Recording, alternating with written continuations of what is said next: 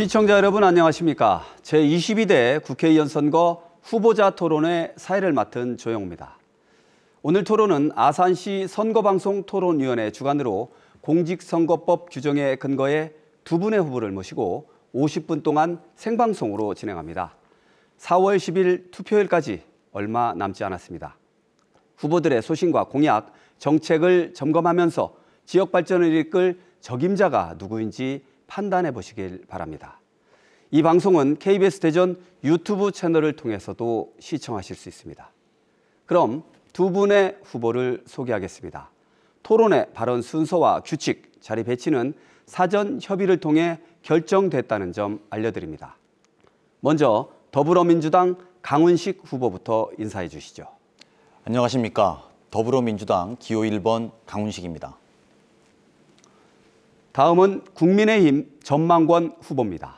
안녕하십니까. 국민의힘 기호 2번 전만권입니다.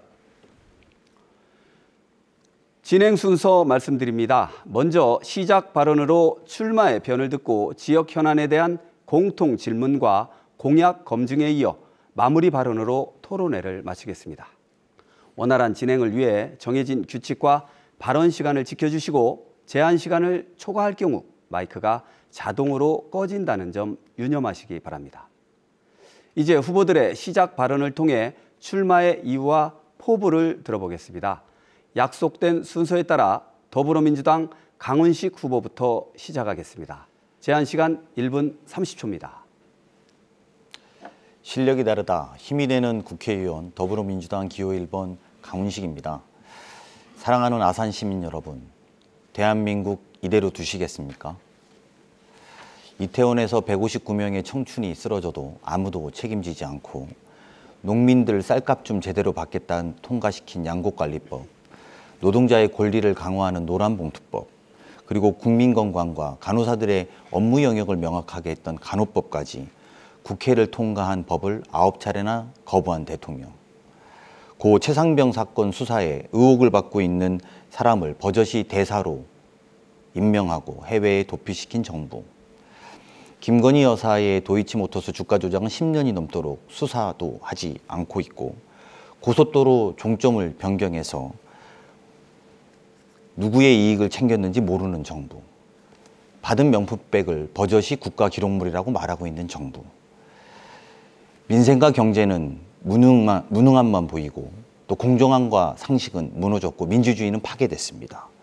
야당 국회의원, 카이스트 대학원생까지 다른 말을 건의하는 사람은 입이 틀려 막혀서 나갔습니다.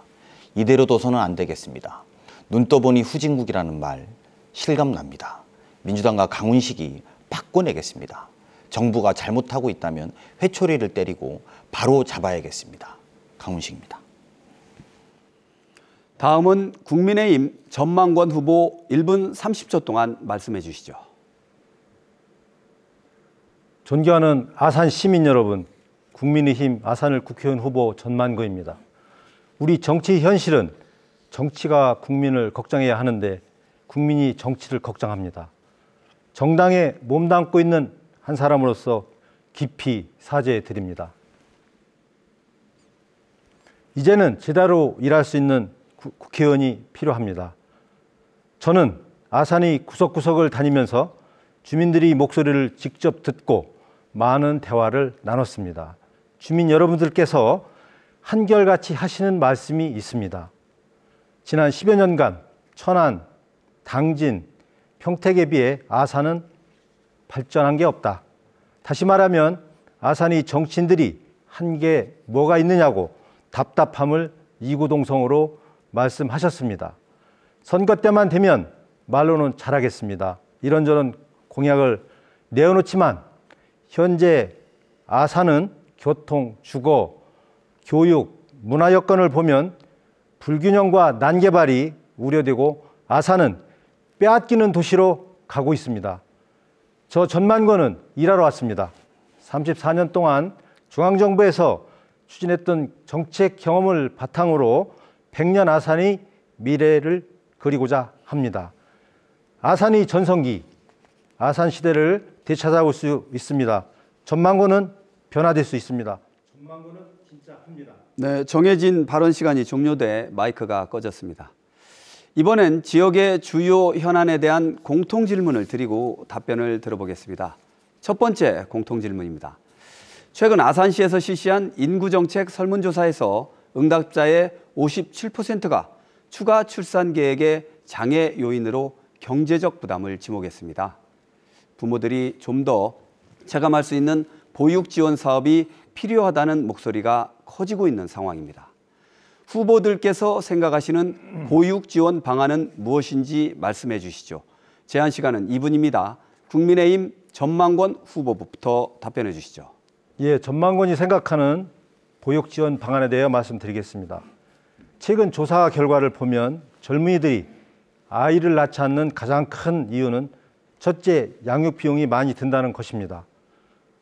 둘째, 부부간 육아 부담이 있어 있어서 차이가 있고 세 번째는 중소기업과 대기업, 대기업 간의 육아 복지 제도의 격차 순으로 나타났습니다. 먼저 출산의 가장 큰 원인은 양육 비용의 부담이기 때문에 각 가정마다 보육비 지원을 더욱 강화해야 합니다. 저는 2025년부터 무상 교육을 5세부터 실시하고 단계적으로 3, 4세까지 확대하겠습니다. 현재 지원되고 있는 육아휴직 급여를 150만 원에서 210만 원으로 인상하겠습니다. 육아 1인당 지원되는 육아 교육비와 보험료를 월 28만 원에서 55만 55만 원 수준으로 인상 지원하겠습니다. 또한 남성 출산 휴가 1개월 의무화를 통해서 부부간 육아 부담의 격차를 해소하겠습니다. 마지막으로 중소기업에서 육아 휴직이 가능할 수 있도록 육아 휴직 대, 휴직자 대체 인력에게 채용 인재 인센티브를 주겠습니다. 만약 대체 인력 확보가 어려워서 동료에게 업무가 가중될 때에는 육아 동료 수당을 지급해서 중소기업 근로자도 출산에 대한 부담이 없도록 조치하겠습니다. 저출산 극복을 위해서는 촘촘하고 현실적인 보육 지원 정책이 함께 이루어져야 합니다. 시민들께서 체감할 수 있는 보육 정책을 적극 추진하여서 한 아이가 태어나면 보육과 교육은 국가가 책임진다는 목표를 달성하겠습니다.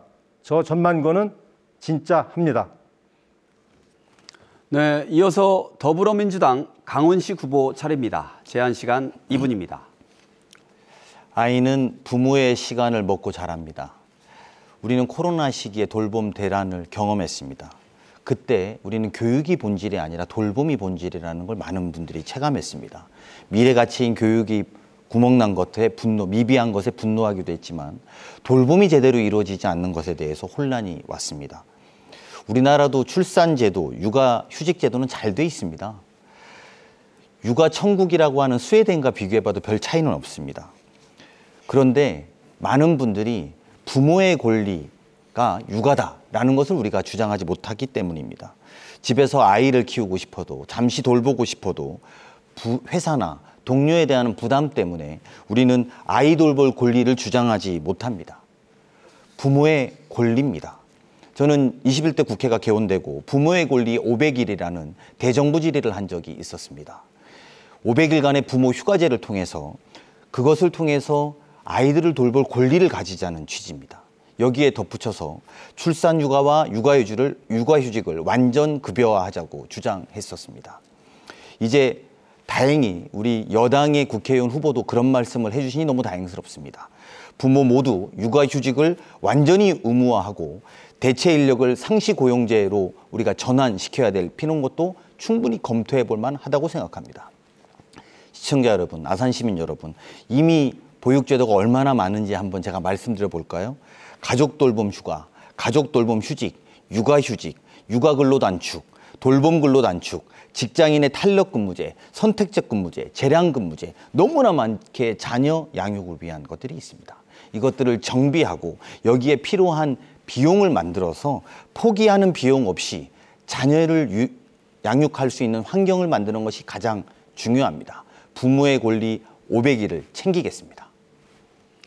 네, 이제 전망권 후보가 궁금한 점을 질문하시고 강훈식 후보가 답변하시면 됩니다. 질문 시간은 30초, 답변 시간 1분 30초입니다. 전망권 후보 질문해 주시죠.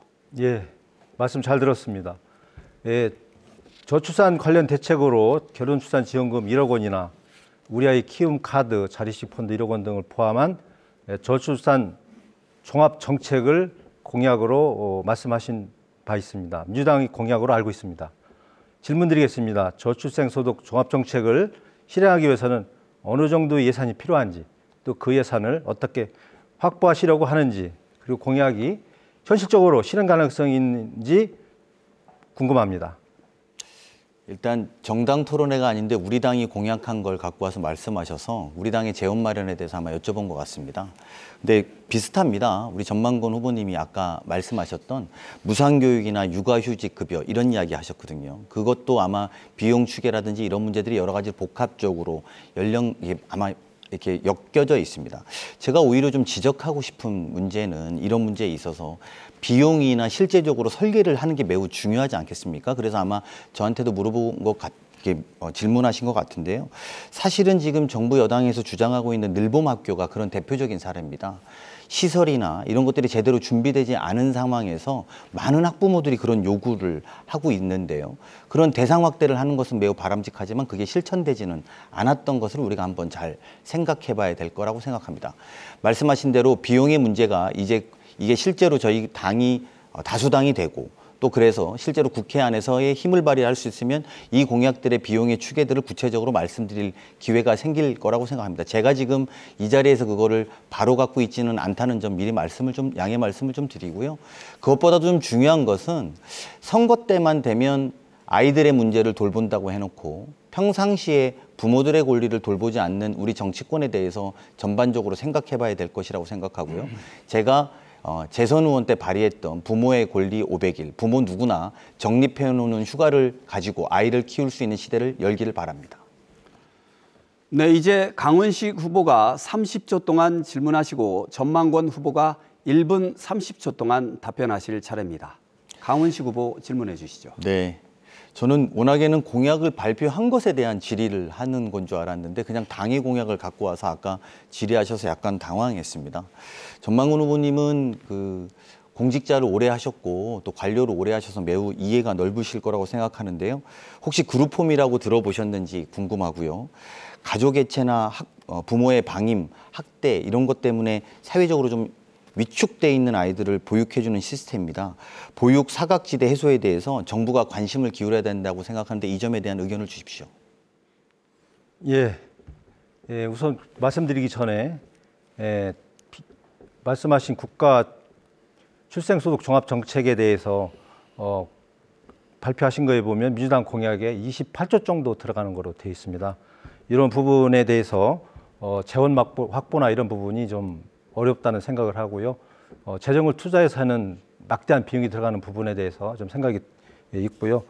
어, 보육 사각지대에 대해서 여러 가지 정책이 있습니다만 에, 말씀하신 대로 다양한 정책에 비해서 우리가 실행 가능력이나 여러 가지 복잡 단안한 이런 정책이 있기 때문에 이런 부분에 대해서는 우리가 좀 더 체계적이고 종합적인 하나의 지속 가능한 보육 정책이 필요하다고 보고요.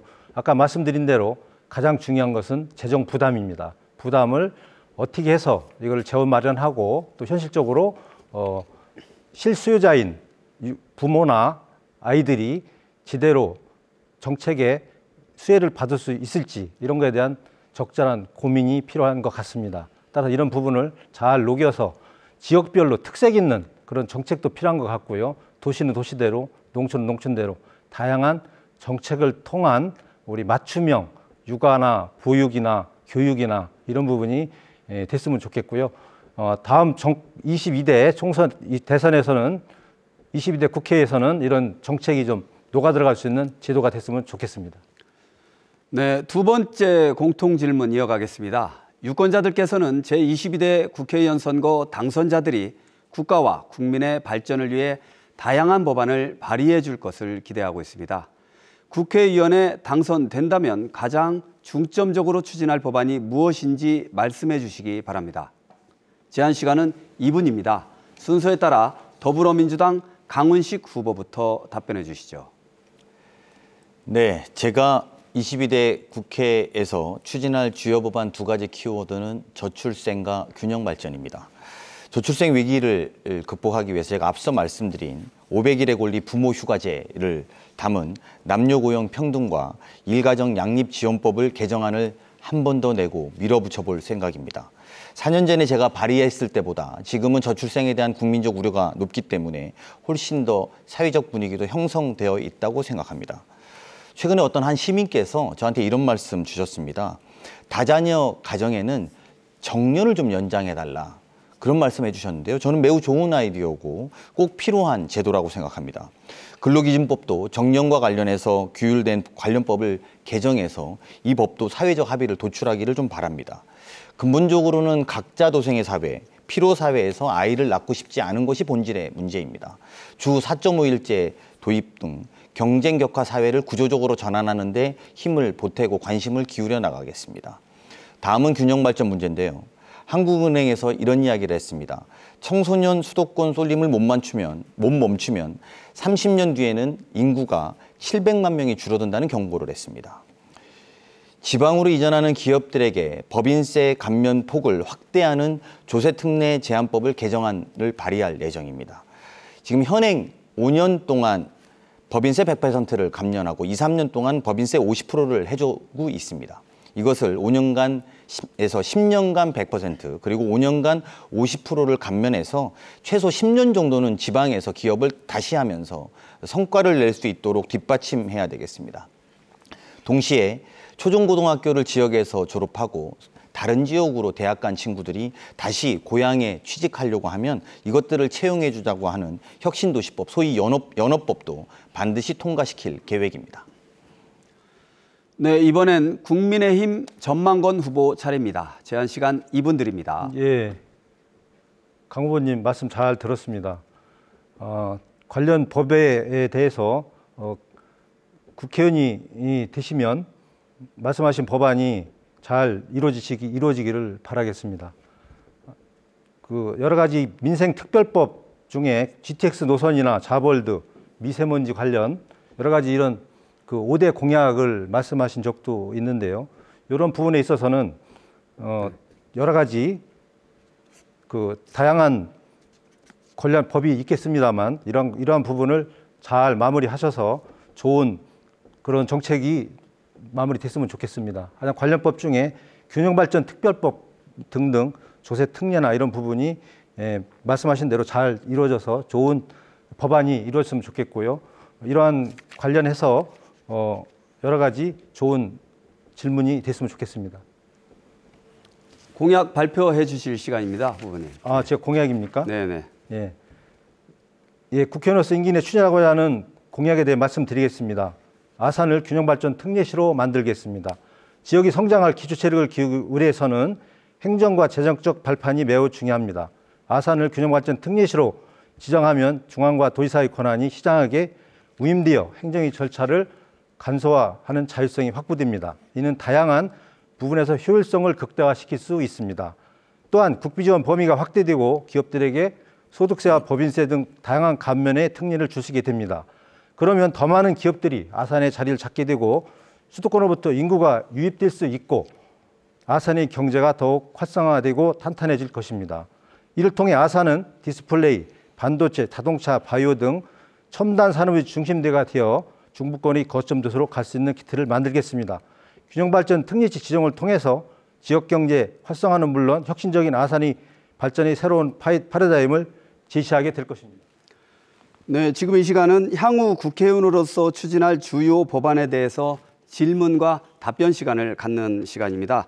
이제 강원식 후보가 궁금한 점을 질문하시고 전만권 후보가 답변하시면 됩니다. 질문 시간은 30초, 답변은 1분 30초입니다. 강원식 후보 질문해 주시죠.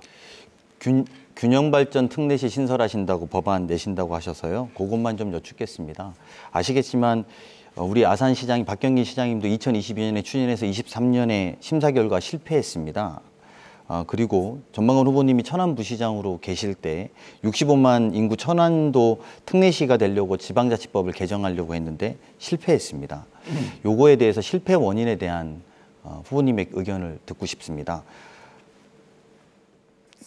예, 예, 균형발전 특례시는 지방자치법에 의해서 어, 만들어지는 것이죠. 현재는 어, 인구 50만 이상의 대도시 중에 100만을 넘는 에, 수원, 성남, 수원, 용인, 창원, 창, 창원 등 이런 여러 가지 네 개 대도시가 해당이 되겠고요.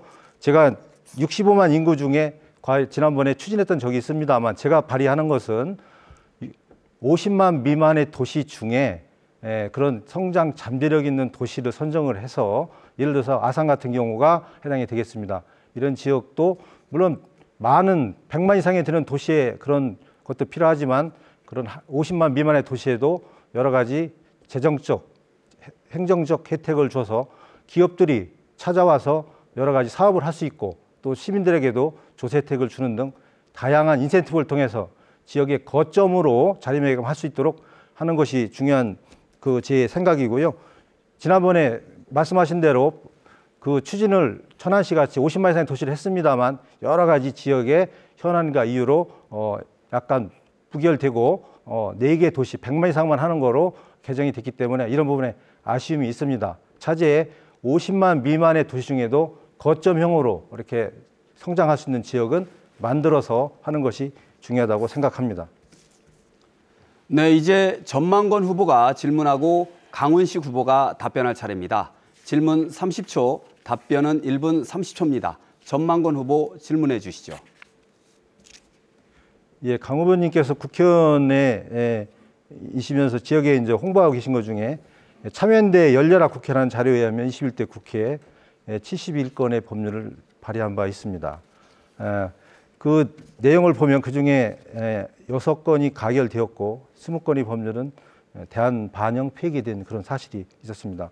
물론 의정 활동을 열심히 하셨는데 그 중에 단 여섯 건이 법률안이 에, 가결됐고 어, 대한 폐기 반영이 많이 있더라고요. 어, 이런 네, 정해진 발언 시간이 종료되었습니다. 강훈식 후보께서 답변 1분 30초 해 주시죠. 네, 법안 발이 많았는데 왜 대안 배, 그 대안으로 폐기 발현된 것들이 또 있느냐 이런 질문이신 것 같습니다. 아마 관료 오래 하셔서 우리 전망 후보님 잘 알고 계실 겁니다. 어떤 것들은 원안대로 통과되고요. 어떤 것들은 제 원안에 미비하기 때문에 위원회의 안, 즉 제 원안에 다른 사람들의 원안들을 다 더해서 위원회 대안으로 합니다. 그럴 땐 폐기됩니다. 제 의견도 물론 거기에 들어가지요. 그리고 아예 논의가 안 되는 것도 있습니다. 4년 동안 보통 국회의원이 제가 알기로 그 우리나라 국회의원 300명들이 만 건이 넘는 어마어마한 양의 법령들을 냅니다. 이 중에서 여섯 건, 일곱 건, 또 그것이 사회를 바꿔, 바꿀 수 있다면 그건 굉장한 큰 의미를 가진다. 이렇게 말씀드리고요. 그리고 한 30여 건이 대안백이 판정됐다라는 것은 위원회에서 논의했는데 강훈식의 아는 이 조항, 그리고 다른 의원의 아는 이 조항, 이 조항, 조항, 조항들을 함께 묶어서 위원회 대안으로 하고 그것을 폐기할 경우입니다. 그럴 경우에도 법안은 그 내용에 충분히 담아진 것이기 때문에 합쳐서 생각해 보시면 법안 내용들은 많이 통과됐고 아마 법안 통과율로는 그런 의미에서 보면 제가 기억하기로는 제가 충청남도에서도 꽤 높은 수준의 법안 통과율이 있었다라는 것 그런 것들도 시청자들께 아울러 보고 드리겠습니다.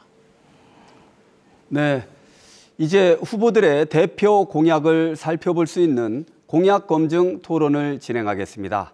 각 후보의 비전과 공약들을 비교해 보시면서 올바른 선택에 도움을 받으시면 좋겠습니다. 공약 발표 시간은 2분입니다. 발표가 마무리되면 후보 간 질의응답 시간을 갖겠습니다. 전망권 후보부터 공약 발표 시작해 주시죠. 네, 아산은 무궁무진한 가능성을 갖고 있는 도시입니다. 전망건이 제시하는 아산의 미래를 잘 들어주시고 공약과 함께 현실화시킬 수 있는 의지와 능력 있는 사람인지 봐주시기 바랍니다. 첫째 공약은 아산을 경제산업 중심 도시로 만들기 위해 균형발전 특례시로 어, 만들겠습니다. 아산에 더 많은 기업들이 모여야 합니다. 많은 인구가 유입되어야 합니다. 그러기 위해서는 가장 기본적인 행재정적 인프라가 잘 구축되어야 합니다. 저는 현행 지방자치법을 개정해서 아산을 균형발전 특례시로 만들고 그로 인한 특혜를 적극적으로 활용하겠습니다. 이를 통해 아산의 경제는 더욱 활성화되고 탄탄해지며 경제산업 중심 도시로 발돋움할 것입니다. 둘째, 아산을 622조 K 반도체 메가클러스터의 출발 지역으로 만들겠습니다. 정부가 622조를 투자하여 2047년까지 K 반도체 메가 클러스터를 만듭니다. 그런데 이 사업의 대상 지역이 평택이나 안성, 용인 등 경기, 경기 남부 지역으로 정해지고 우리 아산은 충분한 영향력이 있음에도 클러스터 대상 지역에서 포함되지 못했습니다. 저는 임기 동안 사활을 걸고 이 사업을 아산까지 가져오겠습니다. 셋째, 우리 아이들이 더 큰 미래를 꿈꿀 수 있는 교육 환경을 제공하기 위해서 아산형 교육 발전 특구를 체계적으로 설계하겠습니다. 현재 아산에는 외고 자사고 등을 포함한 11개의 고등학교가 있습니다. 급격히 늘어나고 있는 아산 청소년 인구수에 비하면 턱없이 부족합니다. 글로벌 위기가 인재가 되고 국제고에 진학하고자 하는 아이는 제주도로 유학을 가야 합니다. 더 이상 이러한 역유출이 되어서는 안 됩니다. 과학고 국제고와 해외 최상급의 명문 국제를 유치하고 아산고제 우대 입학을 추진하겠습니다. 전망군이 네, 정해진 발언 시간이 종료됐습니다. 이제 강훈식 후보가 전만권 후보의 공약에 대해 네 차례에 걸쳐 질문할 기회를 드리겠습니다. 질문 시간은 30초, 답변은 1분 30초입니다. 강훈식 후보 질문해 주시죠. 전방권 후보님 오늘은 민식이법 이야기 안 하십니다. 개정하는 첫 번째 법안이 될 거라고 하더니 지금은 특례시로 바뀌었습니다. 도로교통법 12조 4항과 5항 그리고 가중처벌 특정, 특정범죄 가중처벌법 제5조의 13조 요게 민식이법입니다. 이거 수정한다고 하셨는데 구체적으로 이게 민생에 반하는 민식이법이라고 하셨습니다. 어디가 민생에 반하고 여기에서 무엇을 수정하겠다는지 구체적으로 답변해 주시기 바랍니다.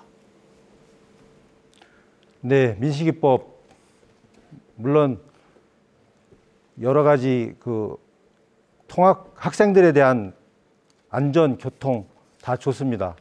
아, 저도 공감하고 제가 중앙정부에서 어린이 교통사고 스쿨존 사업을 진행했던 사람으로서 어, 상당히 공감하는 면도 있지만 근본적으로 여러 가지 정책을 통해서 이런 부분이 예, 완벽한 그런 그 제도가 아니고 논란이 많이 있는 것이 사실입니다. 그래서 저는 법 내용 중에 법을 좀더 촘촘하게 하는 측면에서 예방 대비 쪽에 그런 시설을 해야지 지금 같은 지금 같은 경우에는 어, 결과론적인 그런 법이 법안이 좀 되는 것 같고요. 그래서 제가 생각하는 것은 에, 통학로와 보행로를 완전히 에, 차와 분리시키는 것입니다.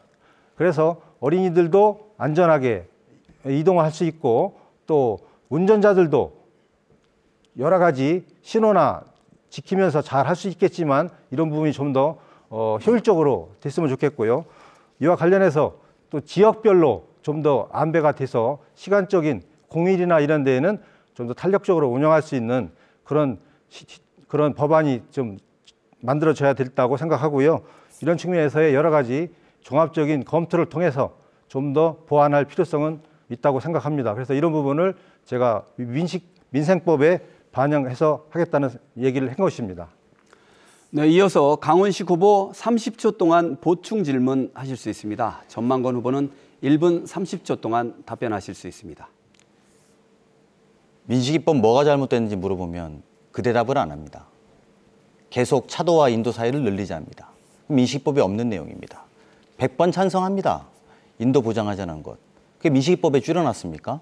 사실이 아닌 문제로 계속 그럽니다. 솔직히 말해서 범칙금 내면, 내면 짜증나는 운전자들 때문에 거기에 표 편성하려다가 아이들의 안전 문제도 중요하다고 생각하니까 슬그머니 민생에 반하는 법에서 이제는 구체적으로 말씀을 못 하시고 있는 것 아닙니까? 필요한 부분에 무엇이 문제인지 다시 한번 여쭙습니다. 예, 말씀하신 대로 여러 가지 논란이 있습니다. 이런 필요한 부분에 여러 가지 있습니다만 말씀하신 대로 근본적인 해결 방안은 지금 법을 가지고는 안 됩니다. 그래서 이런 부분을 보완해서 어, 안전 가장 중요한 민식이법의 기본은 어린이 안전에 대한 거기 때문에 인명피해가 우려되지 않고 또 운전자는 운전자대로 그런 여러 가지 예, 현재의 문제점 뭐 속도나 여러 가지 이런 것을 제대로 완벽하게 할 수 있도록 하는 측면에서 어, 보행로를 분리해서 하는 것이 가장 바람직하고 특히 시설물 CCTV나 과속방지턱 또 보, 보행 펜- 펜스 이런 부분만 가지고는 어린이들이 완전한 통행로가 확보 안 되기 때문에 근본적으로 민식이법의 원인은 그 어린이 안전한 보행로를 확보하자는 거 아니겠습니까? 이런 부분을 저 보완하는 데 있어서 가장 중요한 보차도와 차도를 분리해서 학생들이 안전하게 보행로를 확보하자는 그런 취지이기 때문에 예, 그런 측면에서는 어, 동의할 수 없고요. 다만 중요한 거는 민식이법을 어느 정도 어, 현실에 맞게끔 보완해서 필요하면 법에 법에 반영하고 어, 음, 뭐 조례로 만들 수 있으면 만들고 이런 제도적인 보완 장치가 아, 필요하다 이렇게 생각을 하고요. 여러 가지 이런 부분은 현실적인 문제를 담아서 다시 보완하는 것에 대해서는 저는 당연히 그렇게 해야 된다고 생각을 하고 있습니다. 네, 이어서 강훈식 후보 30초 동안 질문할 수 있습니다. 역시 답변 1분 30초입니다. 제가 이만하겠습니다. 시민 여러분들이 평가해 주십시오. 구체적으로 무슨 법이 잘못됐는지 물어보면 늘 다른 말씀만 하십니다. 저는 좋은 이야기 좀 하겠습니다. 이번에는 우리 전만근 후보님의 공약 중에 24시 아동병원 유치한다는 공약인데 참 좋은 공약이라고 생각합니다. 저는 근데 지방에서 지금 소아과 의사 자체가 부족한데 이 부분에 대해서 어떻게 늘릴 수 있는지 그것에 대한 구체적인 방안에 대해서 말씀을 좀 듣고 싶습니다. 예, 우리 특히 아산 같은 경우에는 젊은 층이 많고 소아가 아동이 많습니다. 물론 소아 의사 인력이 부족한 건 사실입니다. 그렇지만 예, 기존 지역에 있는 병원을 유- 대상으로 해서 하는 방법도 있고 특히 종합병원 중에 일부 어, 소아아동병원을 유치를 해서 이런 부분이 좀 더 우리 아산 지역에 어린이들이 촘촘하게 24시간 의료복지 혜택을 받을 수 있도록 하는 그런 생각을 해서 이런 공약을 하게 됐고요.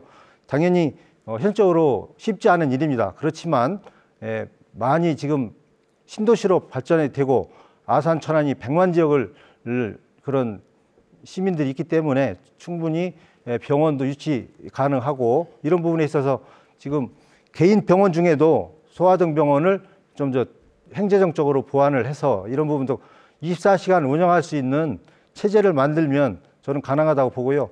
유치하는 것이 꼭 새로 큰 병원이 오는 것보다도 현재 있는 소아 아동 병원 중에도 소아 병원, 소아 의료나 의원 중에도 이런 부분을 좀더 어, 체계적으로 협업을 해서 하면은 충분히 가능하다고 생각하고 이런 부분은 지역 여러 의료기관이나 전문기관과 상의해서 충분히 거점 소아아동 병원을 만들 수 있도록 조치토록 제가 하겠습니다.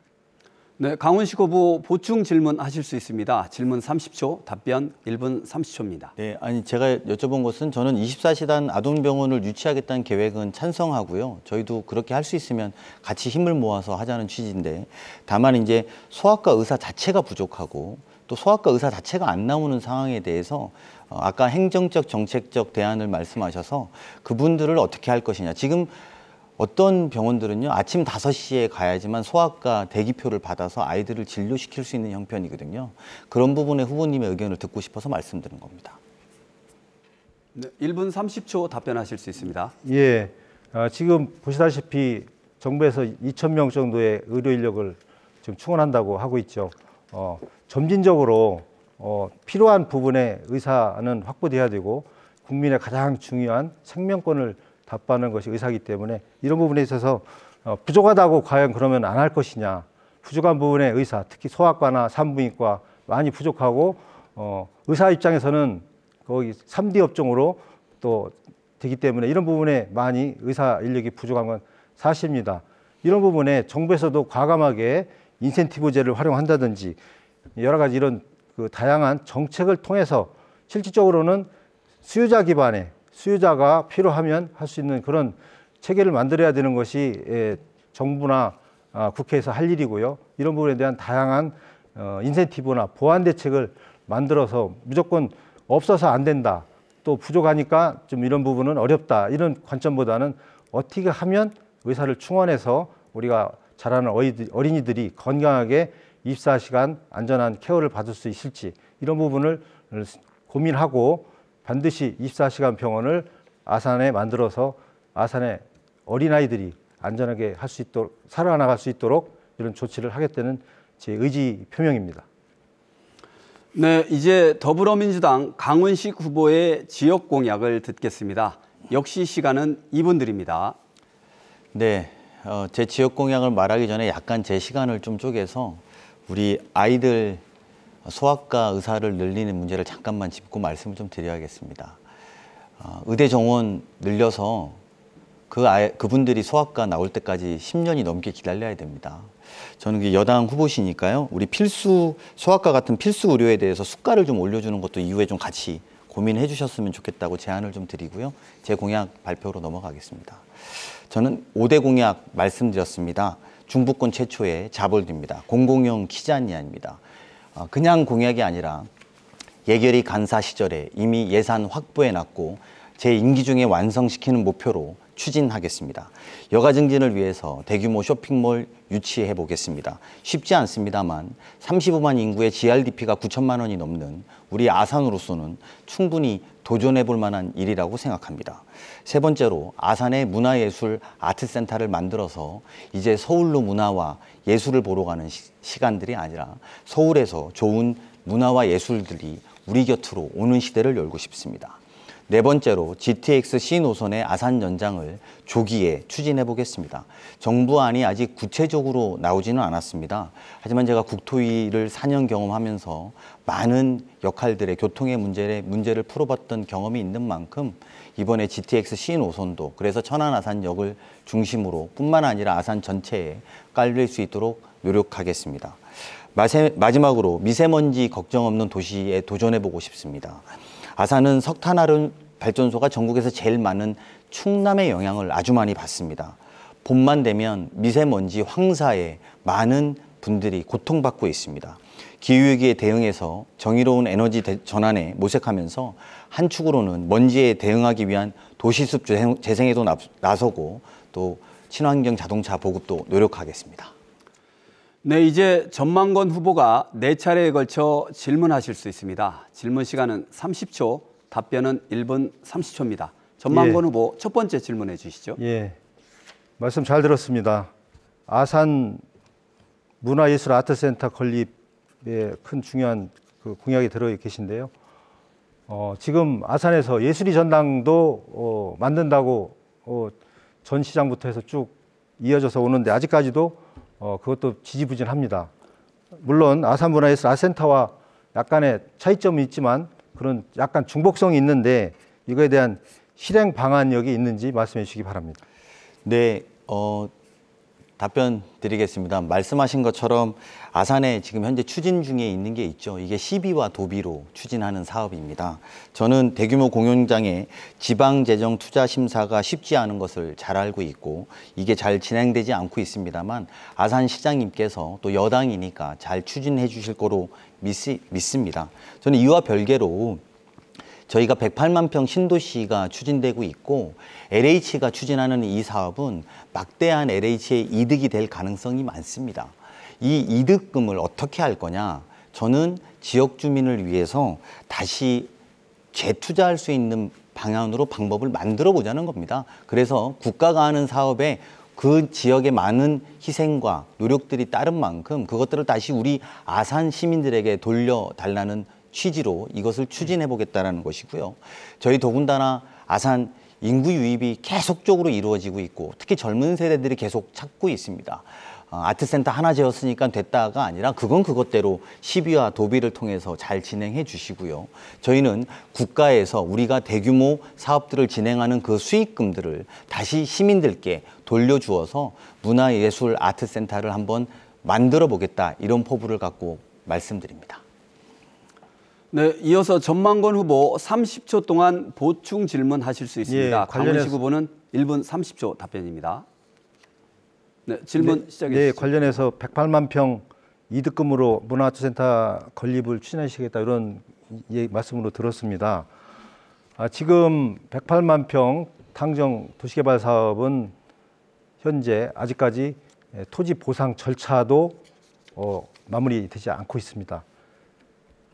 이게 기- 기간이 워낙 오래 걸리는 사업이기 때문에 예, 임기 내에 예, 이것을 이제 건립하시는 것은 상당히 좀 어려움이 있다고 예상되고요. 네, 정해진 발언 시간이 종료되었습니다. 강훈식 후보님께서 답변해 주시죠. 네, 어, 신도시 추진이 많이 늦어진 부분에 대해서 걱정의 말씀 그리고 대안의 걱- 어, 대안의 부분을 아마 여쭤보시려다가 시간이 다 된 것 같은데요. 어, 맞습니다. 사실은 약 많이 좀 늦어진 측면이 있죠. 1, 2년 정도 delay 됐습니다. 이 과정에 생각해 보면 LH의 그 땅의 문제가 한번 발생돼서 LH 직원들이 대규모 그리고 LH를 거의 해체까지도 한번 논의한 적이 있었습니다. 그 당시에 모든 사업이 한 1년 정도 멈춰 있었습니다. 그리고 실제로 어떤 사업지들은 이미 해체시켜버린 사업들도 있습니다. 그럼에도 불구하고 아산 어, 제2탕정 도시개발 사업들은 꾸준히 왔습니다. 그리고 내년을 착공을 목표로 이제 보상까지 와 있는 단계입니다. 이 보상들을 착실하게 해내게 하는 것 이것도 우리가 해야 될 일이고요. 보상 이후에 이것들이 진행되면서 구체적인 이득금 또 도시를 어떻게 배치할 것인가 여기에 학교를 놓을 것이다 여기에 어, 물길을 놓을 것이다 여기 아파트를 지을 것이다 이런 논의들을 하는 과정에서 여기에서 나오는 수익금들을 가지고 과연 무엇에 쓸 것인지도 분명히 그 지역 국회의원이라면 LH 사장과 또 국토부 장관과 논의할 수 있어야 된다고 생각합니다. 그래서 한 축으로는 지역 주민들이 충분한 보상을 받게 하고 또 한 축으로는 그 신도시 개발로 인한 보상의 결과와 이득금들이 지역 주민들에게 돌아갈 수 있게 하는 것 그것을 해보자는 것입니다. 네, 전망권 후보 30초 동안 추가 질문 하실 수 있습니다. 역시 답변 1분 30초입니다. 예, 조금 공약하고는 관계 없는 상인데요. 우리 복귀항 아산 갑지구 의원님께서 어, 아산 세무서를 자기가 인, 어, 옮기겠다, 아산 갑을 옮기겠다 이런 그 공약을 내걸었어요. 그 사전에 같은 당 분이신데 상의가 된 것인지 또 만약에 옮기게 되면 이거에 대한 우리 강 후보님의 의견을 듣고 싶습니다. 네, 제가 답변 드릴게요. 그 저는 이 뭐 이미 제가 알기 있기로는요. 제가 보고를 받기로는 아산 갑을 할 것 없이 모두가 신도시 몬도심이 이동할 수 있는 곳으로 이것을 옮기는 것으로 저는 알고 있습니다. 그래서 이 문제가 국회의원 토론회의 쟁점이라고 생각은 별로 안 해봤습니다. 오히려 제가 좀 말씀드리고 싶은 것은 세무공무원 80명이 일로 간다 절로 간다가 우리들의 미래가 아니라 제가 국가첨단 전략산업단지 특화를 받아서 아산에 많은 뭐 아산시에 따르면 이미 수십조 원의 투자 유치 효과와 생산 유발 효과가 나타났던 것들 이런 것들을 우리가 어떻게 해볼 것이냐 또는 지금 진행 중에 있는 우리 여당이 후보시니까 사업비가 1조가 넘는 자율주행 testbed 사업들이 저희가 공모하고 도전하고 있거든요 아산시가 이런 것들에 대한 그리고 또 수천억짜리 무기발광 디스플레이 기술 개발 사업 이런 것들의 예타와 공모를 앞두고 있습니다. 그래서 이런 뭐, 뭐 제가 좀 지엽적이라고 표현하기 좀 그렇습니다만 이런 문제보다는요 이런 것들은 아마 합리적으로 신도심과 원도심들이 충분히 이용할 수 있는 것으로 기재부나 세무서에서 판단할 거라고 생각하고 좀 두시고요 오히려 이렇게 수조 원 수천억에 다루는 아산의 미래 먹거리에 대해서 저희가 구체적으로 좀 더 토론하는 그런 계기를 만들어 주십사 하고 요청드리고 싶습니다. 네, 전망권 후보 보충 질문 하실 수 있습니다. 질문 30초, 답변 시간 1분 30초입니다. 예, 이게 이제 우리 강 후보님께서는 지역적인 문제라고 말씀하시는데요. 결국은 같은 당에 이런 그 관공서가 유치하기가 얼마나 어렵습니까? 이게 우리 아산 의릴 지역에 있는 것이 갑적으로 이렇게 간다면 뭐 정치권의 문제도 있지만 어, 많은 시민들이 갑을 시민들이 또 갈등의 요소가 되기 때문에 이런 부분이 조금은 사전에 조율을 해서 같은 당이기 때문에 예, 이렇게 공약으로 내세우는 것도 의미가 있지 않나는 말씀을 드립니다. 좋은 의견을 주시기 바랍니다. 네, 아니 제가 어, 네 이게 뭐 작은 문제다 이렇게 말씀드리는 게 아니고요. 갑과 을, 원도심과 신도심이 다 쓸 수 있는 대로 옮기면 되는 문제지 이게 국회의원 토론회에 어, 중점으로 다룰 문제는 아니다 이런 취지의 말씀이니까요. 그런 것들은 이후에 충분히 의견을 잘 반영하면 되고 그리고 이런 관공서 유치하는 게 되게 어렵다고 하셨는데 맞는 말씀이세요. 그런데 우리가 그렇게 많이 유치한 우리 아산 을에 있었던 어, 우리 과학기술진흥원이라든지 충남도에 여러 가지 기관들이 있었거든요. 그런 기관들 우리 홍성우로 우리 도지사가 가져가셨어요. 아마 두세 개 아마 될 겁니다. 근데 그때 민주당 야당 의원들이 도의원들이 반대하고 막 그랬었거든요. 그렇게 빼앗긴 것들 원래 천안아산에 있어서 충분히 효과가 있었는데 그렇게 빼앗긴 것들에 대한 입장을 오히려 더 그때 단호하게 김태흠 지사한테 이러면 안 된다라고 이야기하셨던 분들이라면 지금 이 세무서의 문제는 그렇게 큰 문제가 아니라는 게 무슨 말씀인지 아마 아실 거라고 저는 생각했습니다. 오히려 이런 관공서들의 유치하는 노력도 중요하죠. 그리고 그런 것들 있던 것들도 빼앗기지 않았어야 된다고 생각하는데 그런 것들에 대해서 이야기는 우리가 안 했으면서 원도심에서 일어나는 세무서를 어디로 가냐에 대한 것으로 국회의원 토론회의 중심을 잃지 않았으면 취지로 말씀드렸고요. 그 말씀하시는 그 비전과 큰 도전들 여당 후보로서 좀 책임감 있게 말씀해 주십사 이런 요청을 좀 드리고 싶습니다. 네, 답변 잘 들었습니다. 어느덧 마무리 발언만 남겨두고 있습니다. 유권자들을 향한 후보들의 진심이 잘 전해지면 좋겠습니다. 발언 시간 30초 드립니다. 더불어민주당 강훈식 후보부터 말씀해 주시죠. 네, 시청자 여러분 오늘 토론 잘 보셨습니까? 국회의원 선거는 지역을 대표하는 국가대표를 뽑는 것입니다. 누가 국가대표가 될 수 있는지 여러분들이 판단해 주시기 바랍니다. 저는 당에서 원내대변인, 수석대변인, 충남도당 위원장을 맡았고 또 국회의원 재선의 꽃이라는 산자위 복지 간사와 예결위 간사를 맡았습니다. 한 단계씩 인정받을 수 있었고 신뢰받을 수 있었던 건 여러분들의 덕분입니다. 이제 나라를 바로 세우고 충남을 바로 세우고 아산을 위해서 일하겠습니다. 강훈식입니다. 네, 국민의힘 전망건 후보 마무리 발언 30초 드립니다. 네, 사랑하는 아산 시민 여러분, 여러분 하늘을 한 점 부끄럼 없이 깨끗하게 살아왔는지 여러분께서 엄중한 판단을 내려주시기 바랍니다. 저 전망고는 34년 동안 공직 생활을 하면서 범죄 없이 오직 나라와 국민, 소중한 가족을 위해 살아온 도시행정 정책 전문가입니다. 저 전망권이 설계한 아산의 미래 비전을 실현할 기회를 주십시오. 임기 내에 확실한 아산의 변화를 보여드리겠습니다. 전망권은 진짜 합니다. 네, 잘 들었습니다. 준비된 순서가 모두 끝났습니다. 나와 대한민국의 미래를 결정한 4월 10일 총선. 어떤 선택을 해야 할지 고민이 많으실 텐데요. 오늘 토론회가 아산을 지역 유권자들의 현명한 선택에 도움이 되길 바랍니다. 아산시 선거방송 토론위원회가 주관한 제22대 국회의원 선거 후보자 토론회 여기서 마치겠습니다. 이 토론회는 중앙선거방송 토론위원회 누리집과 유튜브를 통해 다시 보실 수 있습니다. 함께 해주신 시청자 여러분 고맙습니다.